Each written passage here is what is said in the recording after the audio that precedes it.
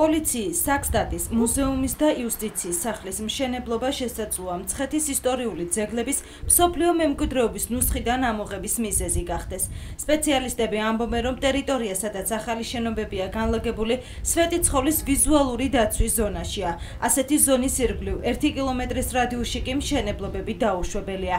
სვეტიცხოვლის მიმდებარე ტერიტორიაზე აქტიური სამშენებლო სამუშაოები 2009 წლიდან დაიწყო. რამდენიმე ადმინისტრაციული შენობა უკვე დასრულებულია. სოფლიო მემკვიდრეობის კომიტეტი ამის გამო შეშფოთებას გამოთქვამს და სახელმწიფოს მოუწოდებს შეწყვიტოს დაგეგმილი პროექტები იმ დრომდე, ვიდრე უცხოელი ექსპერტები მშენებლობის ისტორიულ მემკვიდრეობაზე ზემოქმედების შედეგებს არ შეისწავლიან. ამ შენებლებმა დაარღვიეს ეს ზონა და იუნესკო მოითხოვა რომ შეჩერებული იყო და გარკვეული რეგულაციის შემდეგ განახლებული იყო წინააღმდეგ შემთხვევაში შეიძლება სვეტიცხოველი და მცხეთის ძეგლები მათ შორის სამთავრო და ჯვარი ამოღებული იქნენ სიიდან სპეციალისტების თქმით, იუნესკოსთან გარკვეული პრობლემები ადმინისტრაციული შენობების გარდა სვეტიცხოვლის მიმდებარე ტერიტორიაზე კერძო სახლების რეკონსტრუქციამ აჩექნა, რამაც ტაძრის ფასადის ნაწილი დაფარა.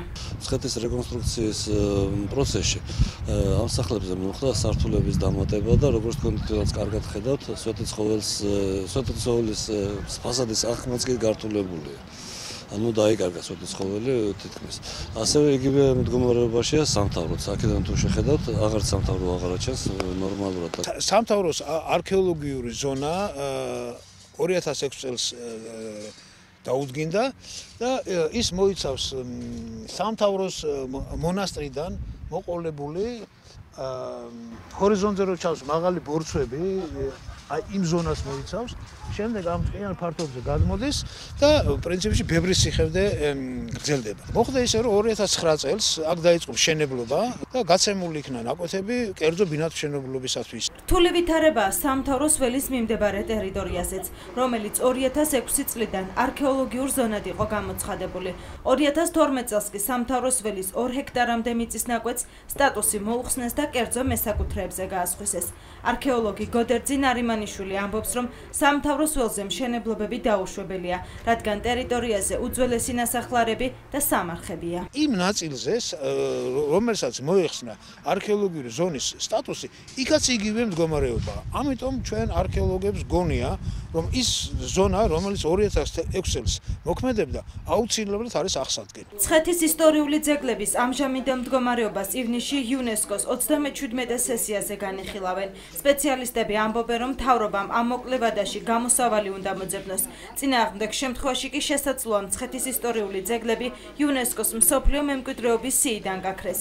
საერთაშორისო ორგანიზაცია იკომოსი საქართველოს წარმომადგენლობა მშენებლობებზე მორატორიუმის გამოცხადებას ითხოვს. ძალიან კარგად გვესმის, რამდენად რთულია ეს, როგორ სოციალურ, ფინანსურ, ადმინისტრაციულ პრობლემებს ქმნის. ამიტომ ვფიქრობთ, რომ სცილდება ეს ერთი რომელიმე უწყების, როგორც არის კულტურის სამინისტრო, მის უფლებამოსილებას. და მიუმართავთ მოუწოდეთ თავრობას აიღოს პასუხისმგებლობა ცხეთის მსოფლიო მემკვიდრეობის ძეგლებზე და დაიწყოს იუნესკოს რეკომენდაციების შესრულება. სპეციალისტების ნაწილი მცხეთაში აგებული ახალი ადმინისტრაციული შენობებისათვის შეუსაბამო შენობების სტატუსის მინიჭებას ითხოვს, რაც მათი თქმით მომავალში ამ შენობების დემონტაჟს გულისხმობს. გენერალურ გეგმაში მცხეთის რომელიც აუცილებლად უნდა შესრულდეს ამ შენობებს უნდა დაედოს შეუსაბამო შენობების სტატუსი, რომელიც გულისხმობს მათ არ განვითარებას მომავალში და პერსპექტივაში დემონტაჟს.